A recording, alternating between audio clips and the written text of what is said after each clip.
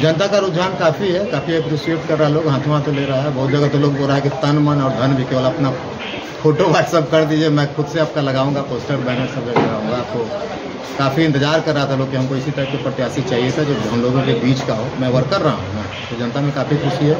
और मैं छः विधानसभा जनसंपर्क कर चुका हूँ। और रोड शो नहीं, हमारा मतदाता हमारे लिए रोड शो करेंगे रोड शो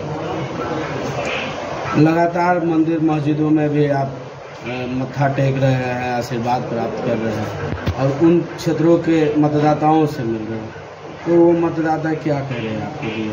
मतदाता काफ़ी आसान्वित है कि हर जगह आ रहे हैं। मत्था टेकना तो एक आस्था है, उस व्यक्तिगत चीज़ है, लेकिन वहाँ हमारे वोटर लोग बुला रहे हैं ना कि चलिए हमारे लोकल हैं, देवता हैं, हमारा आस्था है, आप भी आए उसी के आग्रह को स्वीकार करते हुए हमारी खुद से भी आस्था सर एक तरफ़ अभी पटना साहिब लोकसभा क्षेत्र में दो नेशनल पार्टी और तीसरा ये बहुजन समाजवादी पार्टी हाथी लेके आप चल रहे हैं उन्हें पंजा लेके चल रहे हैं उन्हें कमल चल रहा है।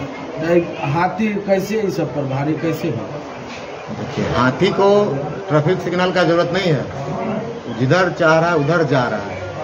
और हाथ वाले को ना, एक गाइड चाहिए, टूरिस्ट हैं वो, पर्यटक हैं वो, उनको जब तक गाइड नहीं मिलेगा तो वो नहीं जा पाएँगे मतदाताओं के पास। मैं डायरेक्ट मुखा- मुखातिब हो रहा हूँ। कोई माध्यम नहीं है। मैं डायरेक्ट अपने मतदाताओं से भेंट कर रहा हूँ और मुलाकात कर रहा हूँ। काफ़ी लोग मुझे स्वागत बात कर रहे हैं।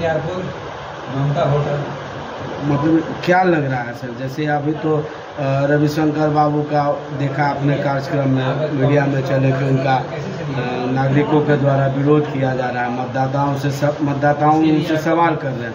और उन वो अपने अंगरक्षक से वो उनको वो करेंगे इनका वीडियो बंद कराओ मोबाइल बंद करो। इस पे क्या कुछ कहना है सर? मैं इस पे बहुत छोटा सा बहुत बात कहूँगा। जस करनी तस भोग विधाता। वो जो हो रहा है उनके करने का फल है। मैं क्या कर सकता हूँ? करने का फल? करने का फल एक भी लोकसभा में प्रश्न नहीं उठाया। मंत्रिमंडल से उनको बाहर किया गया। उनको तो कायदे से टिकट नहीं देना चाहिए था। पार्टी को पार्टी की मजबूरी है टिकट दिया। उनको। जो उनसे सवाल कर रहे हैं, उनकी क्या मजबूरी है? वो तो दिए है ना। हमारा पाँच साल जो गाढ़ा खून कमाई का जो पैसा है, जो गया है वहाँ खजाना ट्रेजरी में, उसको डेवलपमेंट के काम में नहीं लगा है तो पूछेगा ना। क्या पाँच साल से एक प्रश्न है क्या? समस्या नहीं है पटना साहिब में क्या? डिलीट कराने से क्या होगा? यहाँ जेहन में लोगों का है, गुस्सा है। निकालेगा इस बार चुनाव में। आप भी लगातार जनसंपर्क कर रहे हैं, सर दीघा विधानसभा से, तमाम विधानसभा। तो और खास करके जो सर फतुहा विधानसभा है और बख्तियारपुर विधानसभा तो इन क्षेत्रों में सर, जो है, टाल क्षेत्र भी है और गंगा का तटीय, गंगा के भूभाग में भी रहने वाले लोग, उन लोगों का तो आपको नज़रों में क्या समस्या दिखता है? देखिए, टाल में सच्चाई बताता हूँ कि टाल के लोगों से मैं मिला हूँ, लेकिन टाल गया नहीं। हाँ गंगा के क्षेत्र, दियारा क्षेत्र में मैं गया हूँ, लोगों से मिला हूँ काफ़ी उसके दर्द को समझा हूँ लेकिन टाल भी मैं जाऊँ। और वहाँ के अपने खुद से आँखों देख के जब होगा ना तो ज़्यादा अच्छा रहता है। लोगों के मुँह मतलब अपने बातों द्वारा बताएँ समस्या, लेकिन हमें खुद से देखना भी चाहूँगा समस्या जैसा कि अपने आपने बताया कि हम गंगा के तटीय क्षेत्रों में, गंगा के भूभाग में बसावट पर गया। तो पिछले बार जो सांसद हैं अभी वर्तमान के बीजेपी के उन्होंने वादा किया था कि मैं सांसद बन जाऊँगा तो पक्के पुल बना देंगे। लेकिन आज भी वहाँ की जनता चार पाँच पंचायत के जनता करीब हज़ारों की संख्या में आबादी है मतदाता वो लोग ठगा महसूस करते हैं।